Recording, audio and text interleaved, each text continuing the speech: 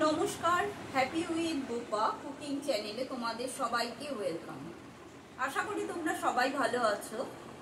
আজকে আমি চিতল মাছের একটা রেসিপি দেখাবো। রেসিপিটা প্রথম থেকে শেষ পর্যন্ত দেখতে থাকো।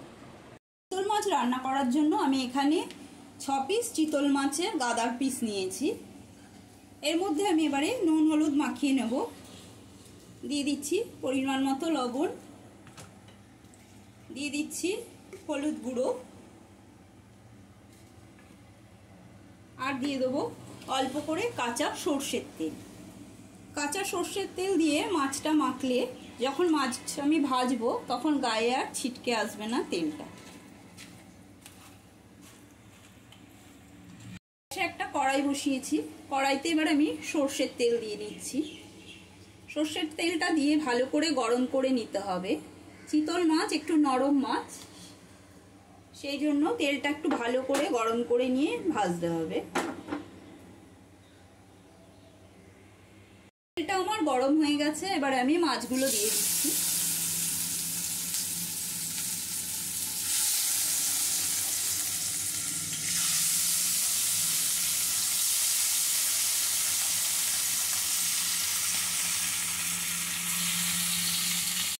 আমার এক পিঠ ভাজা হয়ে গেছে, আর পাশ উল্টাচ্ছি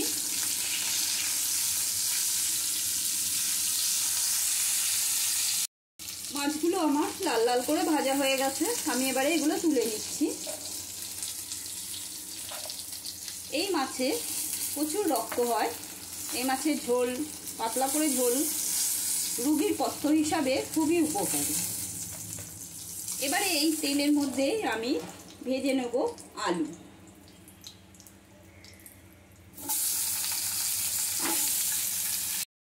এবারে একটা বাটির মধ্যে আমি কিছুটা মশলা গুলে নেব।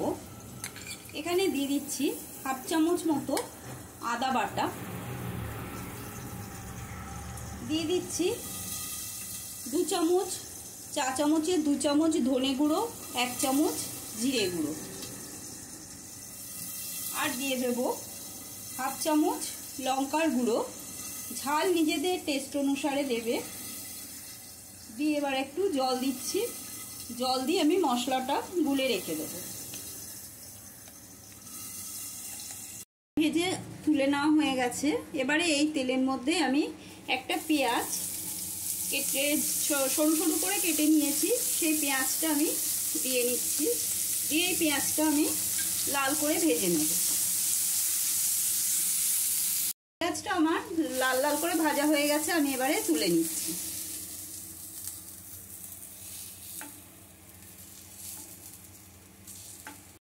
পেঁয়াজটা তুলে নেওয়ার পরে কড়াইতে আবারও আমি কিছুটা সর্ষের তেল দিয়ে নিচ্ছি।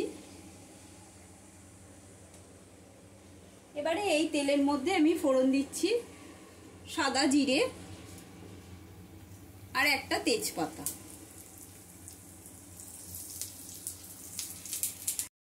ফোড়নটা থেকে সুন্দর গন্ধ বেরিয়েছে। এবারে এর মধ্যে আমি কাশ্মীরি লঙ্কার গুঁড়ো দিয়ে দিচ্ছি, এক চামচ। দিয়ে ভালো করে নাড়িয়ে এবারে এর মধ্যে ভিজিয়ে রাখা ধনে, জিরে আর আদার পেস্ট দিয়ে দিলাম। দিয়ে মশলাটা ভালো করে আমি একটু কষিয়ে নেব।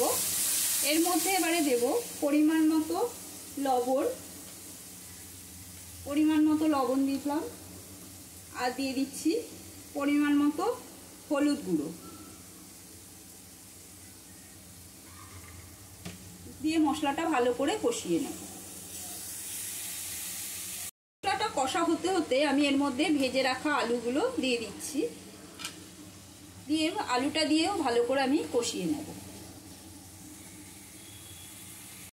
মশলাটা আমি দু মিনিট ধরে লো টু মিডিয়াম ফ্লেমে ভালো করে কষিয়ে নিয়েছি। এবারে এর মধ্যে আমি ভেজে রাখা পেঁয়াজগুলো দিয়ে দিলাম। পেঁয়াজটা দিয়েও ভালো করে মিশিয়ে নিচ্ছি। মিশিয়ে নিয়ে এবারে আমি জল দিয়ে দেবো। সুন্দর গন্ধ বেরিয়েছে। এবারে আমি জল দিয়ে দিচ্ছি। জলটা নিজেদের পরিমাণ বুঝে দেবে কে কতটা ঝোল রাখবে। এবারে আমি কিছুক্ষণের জন্য ঢাকা দিয়ে দিচ্ছি। আলুটাও আমার সেদ্ধ হবে। ঝোলটা আমার ফুটে গেছে। এবার মাছগুলো আমি, ভেজে রাখা মাছগুলো আমি দিয়ে দেবো।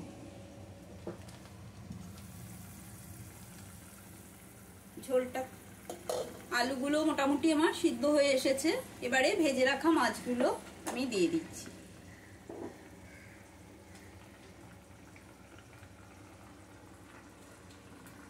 দিয়ে আরও পাঁচ মিনিট ধরে আমি এটাকে ফুটতে দেবো। পাঁচ মিনিটের জন্য আবার ঢাকা দিয়ে দিলাম। পাঁচ মিনিট বাদে ঢাকাটা আমি তুলে নিচ্ছি। আমার মাছ ও আলু দুটোই সেদ্ধ হয়ে গেছে। এবারে এর মধ্যে আমি দিয়ে দিচ্ছি অল্প করে গরম মশলার গুঁড়ো। গরম মশলার গুঁড়োটা দিয়েও আবার একটু নাড়িয়ে নিচ্ছি। নাড়িয়ে নিয়ে আবার একটু ঢাকা দিয়ে দিচ্ছি। আবারও আমি ঢাকনাটা একটু তুলে নিলাম। মাছটা আমার দেখো কি সুন্দর রংটা হয়েছে। এবার আমি একটা তুলে নিচ্ছি। আমার এই রেসিপিটা তোমাদের কেমন লাগল? কমেন্ট করে অবশ্যই জানাবে। সাবস্ক্রাইব করবে, পাশে থাকা বেল আইকনটা প্রেস করে দেবে, যারা নতুন বন্ধু। বেশি বেশি করে শেয়ার করবে।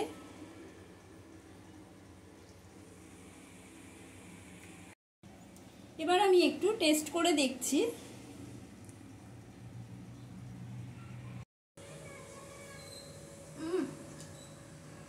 অপূর্ব হয়েছে, এরকম ভাবে তোমরা মাছের, এরকম ভাবে তোমরা চিতল মাছের তেল, ঝাল বানিয়ে খাওয়া। একটু ঝাল বেশি হয়েছে, সেই জন্য গলাটা আটকে গেছিল। সুস্থ থাকবে, ভালো থাকবে, ধন্যবাদ।